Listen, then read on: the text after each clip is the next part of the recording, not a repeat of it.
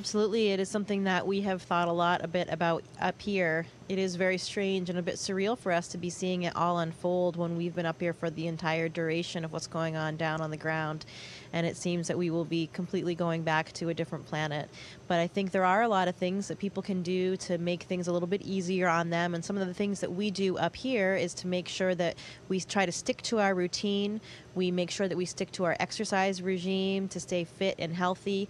And exercise, as we know, is important not only for our physical fitness, but also for our mental well being. And that's something that we emphasize a lot up here. We maintain regular contact with people back home. I know I've seen lots of accounts of friends and family maintaining contact with Zoom and other web based programs and to talk and stay stay together, stay in tune, have virtual happy hours, that kind of thing with people. And that's something that we do regularly for our psychological support on the space station as well. We talk weekly to our family and friends and loved ones with video conferences. So I think all of those kinds of things just to make sure that you're still sticking to your routine, maintaining your own psychological well-being, those are some things that can really help out and I think that they're coming in handy for people on the ground as as well as astronauts up here on the space station.